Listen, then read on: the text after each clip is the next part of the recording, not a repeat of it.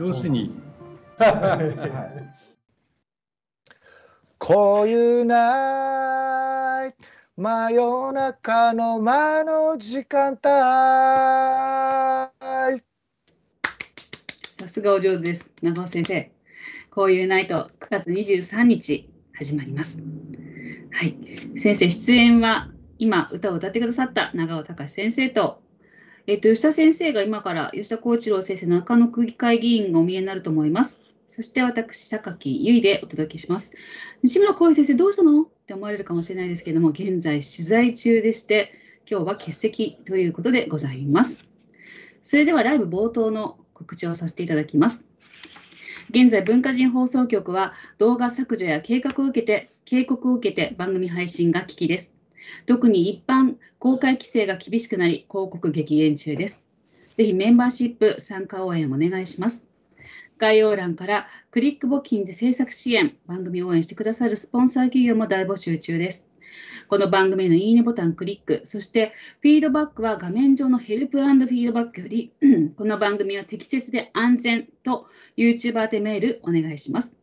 本日も22時から23時が一般公開ライブです。23時から23時15分までメンバーレベル2限定ライブです。吉田浩一郎先生到着です。本日もよろしくお願いいたします。お願いします。ちょっと前の仕事が長引きました。すみません。はい。お風邪の方はいかがですか？えっ、と、薬でなんとかあの収まっています。なんか今の薬はすごいですね。あの収まってます。はい。すごい効いてますね。昨日は咳き込んでいらっしゃるのでよかったです。え大事にしてください。ありがとうございます。本日のヘッドラインを紹介いたします。一般公開ライブでは自民党の未来、岸田外交と対中政策、日米、VS 中ロ、そしてメンバーレベル2限定ライブでは夜の中国代理人コーナーというようなラインナップになっております。本日もよろしくお願いいたします。よろしくお願いします。お願いいたします。それではまず本日は自民党の未来として、杉田水脈さんが大攻撃を受けてますね、えーご紹介したいと思います。1番です。吉田さんのツイート。杉田水脈氏、もう議員の資格はないという朝日新聞を紹介し、行政機関が常に正しいわけではない。この件は札幌法務局が間違っている。喜んで切実にしている捏造変更、えー上州朝日新聞も、朝日新聞こそもう新聞の資格はない。そして2番です。長尾さんもリツイートされてます。瀬尾優子さんのツイートです。杉田水脈氏、もう議員の資格はないという先ほどの記事を紹介し、4年前に出てきた、今4年前にできた法律で民間人の立場で7年前に書いたブログを糾弾するとは恐ろしいね。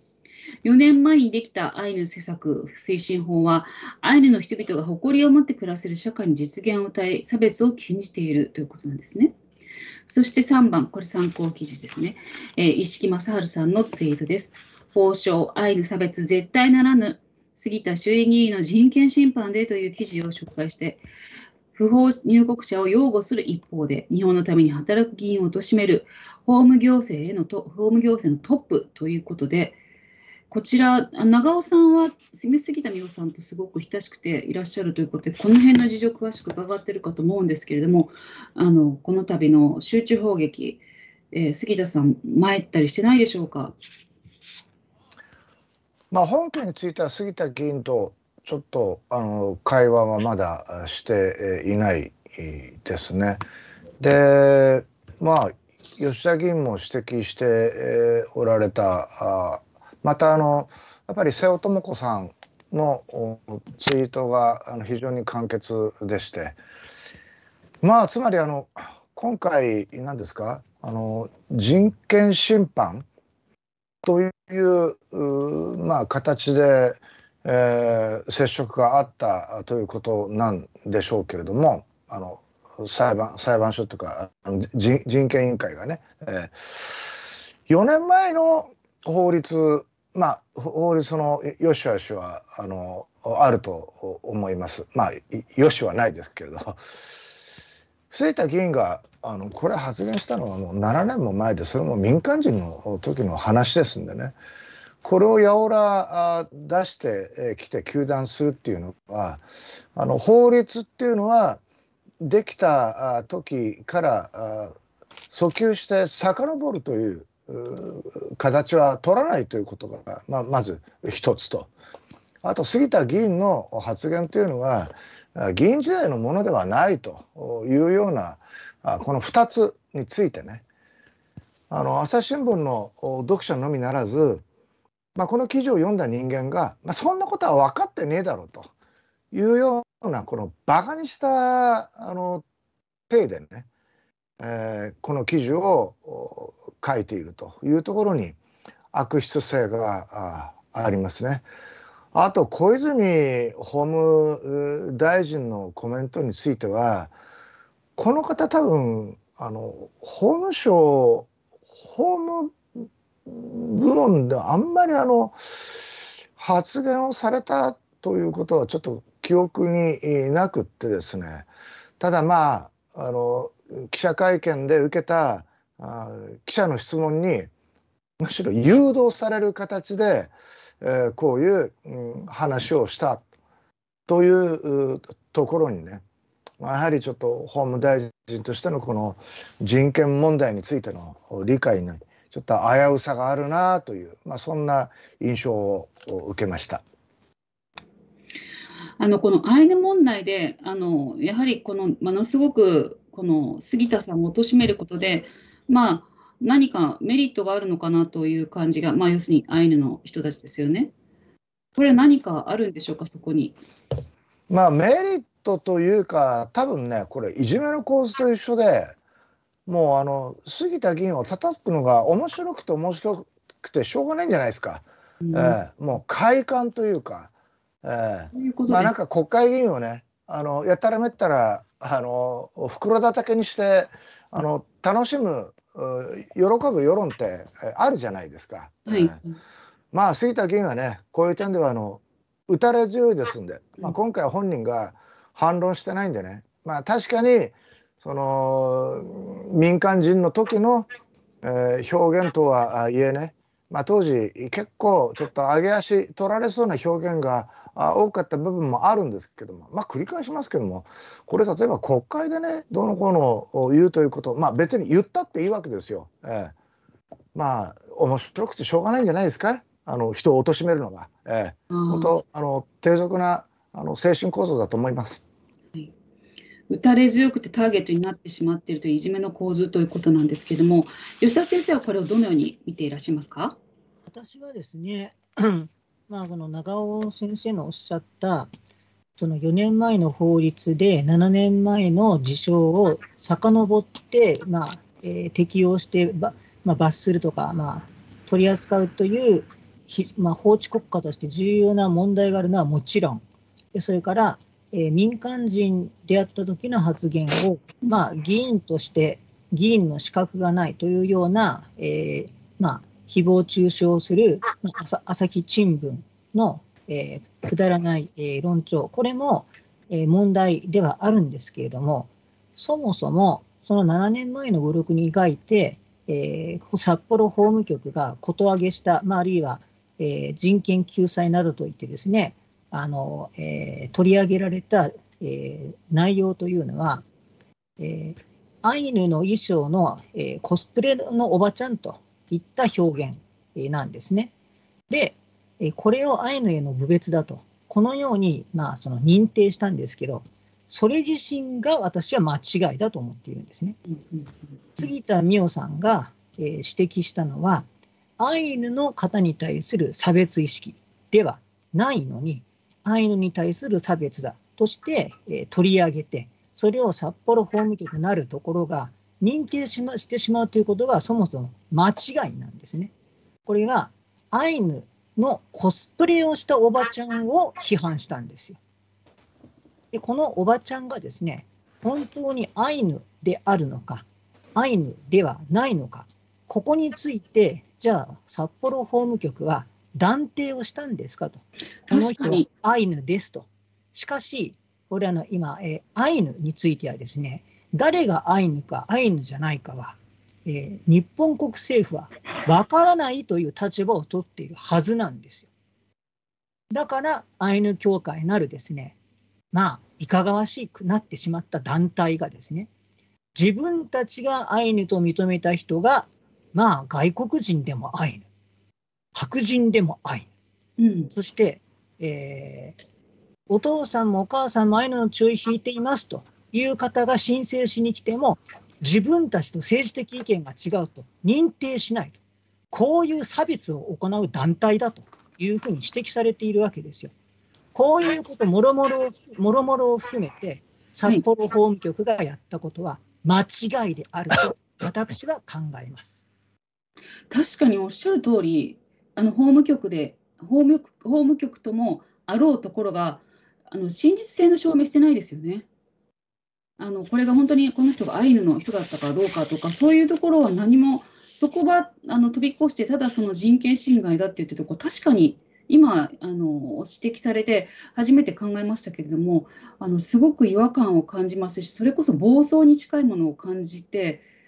こういう言葉尻を捉えて、徹底的にこう、なんていうか、言論封殺に近く、人をなんというか、もう押し込めてしまうというか、まあ、その人の人生をこう、ダメにしてしまうようなことに走るというのは、確かにものすごい怖いなというふうに思ったんですけれども、吉田先生、いかがでしょうか？